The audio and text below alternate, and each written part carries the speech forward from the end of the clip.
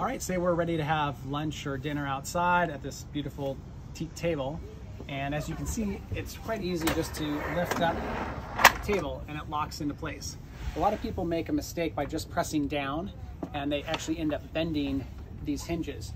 It's very easy to get the this table down by just pressing up and it comes down. So just lift up, press, lift up, press the buttons here with your finger and let it come down other features of this table.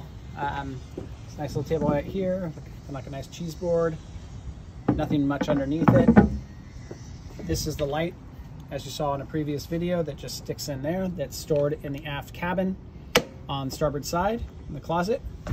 And then next you have a little um, cooler here that you can put stuff in. I don't recommend putting ice that could melt because it will drain right down onto your feet right there.